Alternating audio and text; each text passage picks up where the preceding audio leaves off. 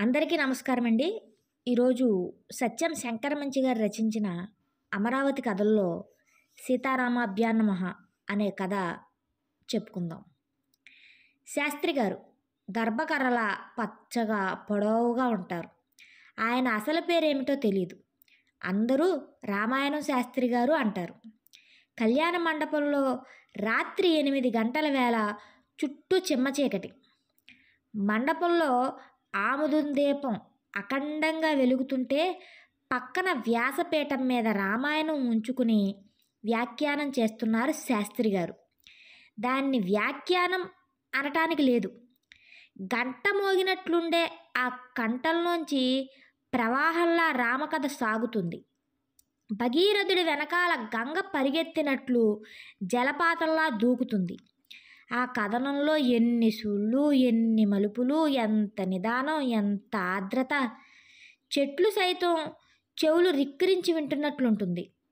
గాలంతా రామమయం అయిపోతుంది వింటున్న వాళ్ళు బొమ్మలైపోతారు. పిల్లలు సైతం ఉలకరు పలకరు. మనసున రామచింత తప్ప మరో ధ్యాసే లేదు. శాస్త్రి గారు తన్నయలే చెప్పుకుపోతున్నారు. ఆనాడు శ్రీరామ పట్టాభిషేకం. నిశ్చయమైన నాడు సీతమ్మ తన స్వామి రాక కోసం ఎదురు చూస్తుంది స్వామి రానే వచ్చాడు. ఎలా వచ్చాడు?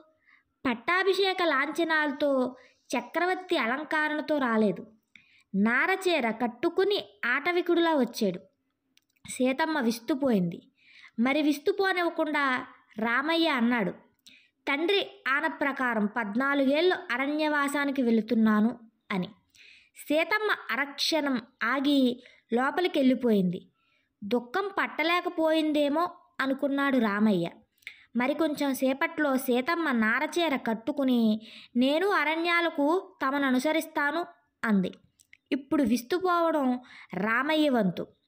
జనక మహారాజు బిడ్డవు ఎండ కన్నెరగని దానవు రావద్దు అన్నాడు.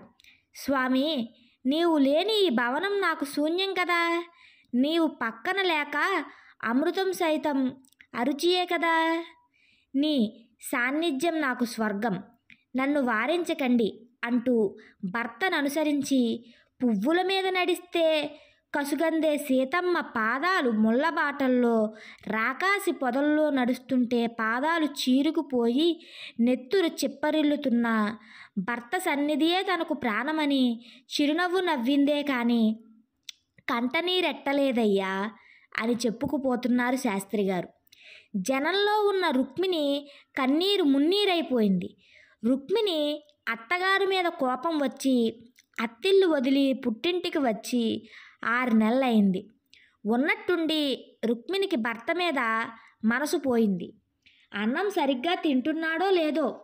అన్నం అయ్యాక ఆకు ఒక్క తానే వేసుకుంటున్నాడు కాబోలు. అర్ధరాత్రి మేల్కు వచ్చినప్పుడు తాగడానికి మంచం కింద మంచినీళ్ళు పెడుతున్నారో మర్చిపోతున్నారో? స్నానమాడుతున్నప్పుడు వీపెవరు రుద్దుతున్నారో? ఇష్టమైన కొత్తిమీర కారం నూరి పెట్టరు పెడుతున్నారో పెట్టట్లేదో. దుఃఖం పొంగుకు రాసాగింది.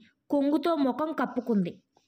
ఉదయాన్ని శాస్త్రి గారు ఇంటింటి ముందుకు వచ్చి సీతారామాభ్యాన్న మహా అంటారు. ఇంటివారు గుప్పిడి బియ్యం యాయవారం చెంబులో పోస్తే ఆ రోజు తిది వారం వర్జం చెప్తారు.